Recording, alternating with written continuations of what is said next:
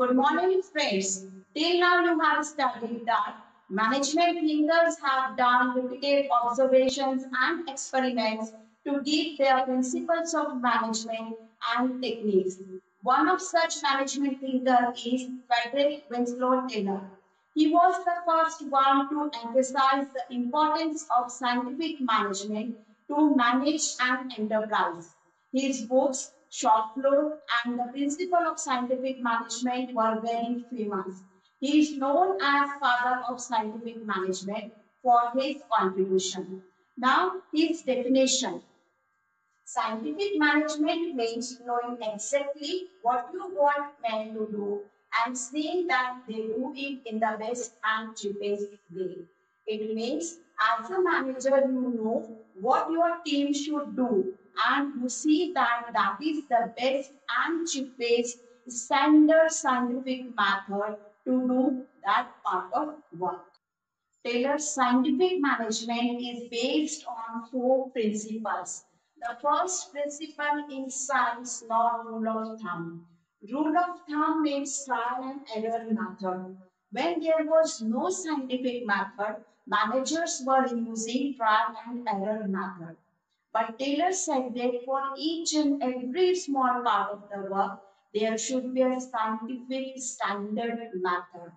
Managers can implement such method by doing scientific study and its logical analysis. For example, suppose आपकी school में library की books का truck ground में खड़ा है और ट्वेल्थ कॉमर्स स्टूडेंट्स को यह एक्टिविटी दी गई है कि उन्हें बिना किसी की मदद के यह बुक्स लाइब्रेरी तक पहुंचानी है। तो जरा सोचिए आप क्या करेंगे? ऐसी कौन सी मेथड है जिसमें टाइम भी कम लगेगा और एनर्जी भी सेव होगी? इस एक्टिविटी के लिए साइंटिफिक मेथड यह होगी कि आप सभी स्टूडेंट्स ट्रक से लेकर लाइब्रेरी तक एक चेन बना ले और बुक्स के बंडल पास करें।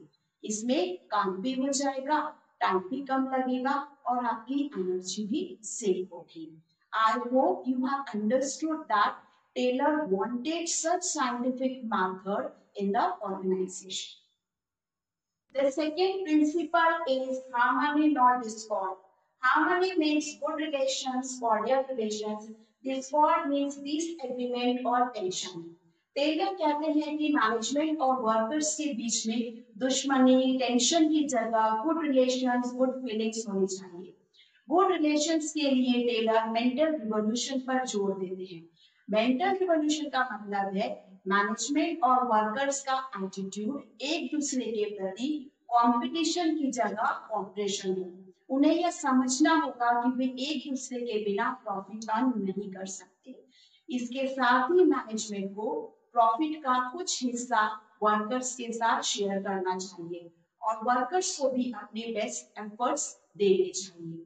फ्रेंड्स एग्ज़ाम में नोट सॉल्व करने के लिए आपको की वर्ड्स की पॉइंट्स ध्यान में रखने होंगे।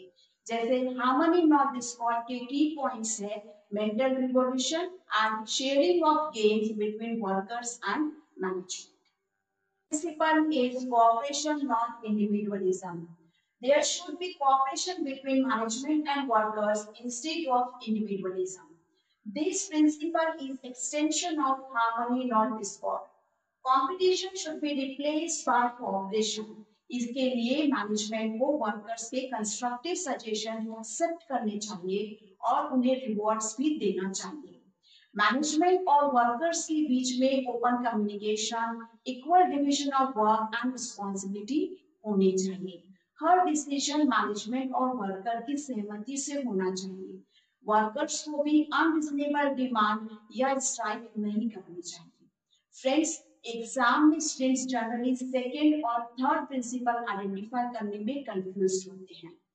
तो second principle harmony not discord के केस में जनरली आपको मिलेगा sharing of gains between management and workers और कॉपरेशन नॉट इंडिविजुअलिज्म के केस में आपको मिलेगा constructive suggestions by employees and rewards for them I hope now you can solve what's easily the fourth principle is development of workers to their greatest efficiency and prosperity According to this principle, management should implement scientific selection process to recruit and select employees. Then scientific training programs like workshops, seminars should be organized for the managerial and technical growth of employees. I hope now you have understood all the four principles of scientific management given by F.W. Taylor. If you like this video, like, share and subscribe my channel and press the bell icon to get latest updates. Thank you.